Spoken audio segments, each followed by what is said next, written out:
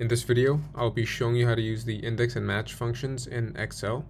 And so here we're given a uh, data set of monthly sales reports from different employees.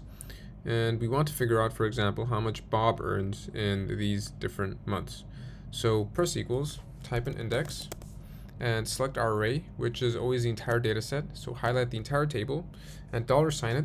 So later we can uh, drop, drag this formula down and afterwards we select our row number which is where the match function comes in play. So type in match choose our lookup value which is the name of the employee dollar sign that. Our lookup array are the rows right? The rows of all the employee names dollar sign that too. Our match type is zero or exact match close bracket.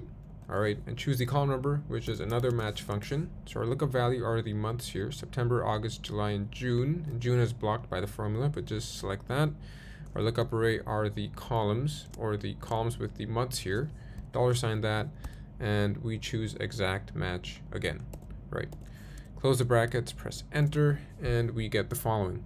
Bob earns $8 in June, which is correct.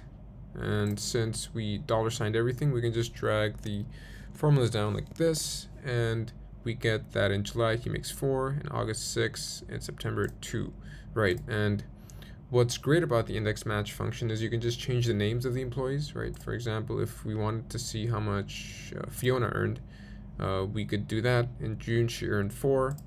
In July, six. August, five. September, 10 bucks, right? And so it's interactive.